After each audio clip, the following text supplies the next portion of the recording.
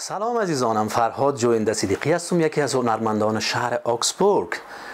در طول این مدت یک و نیم سال مشکلات زندگی هنرمندان و خصوص در شهر آکسبورگ زیاد بود و مخاطر من تصمیم گرفتم که خودم واکسن بکنم و آرزوی یک واکسن بسیار خوب و سلامتی و جوری شما را دارم.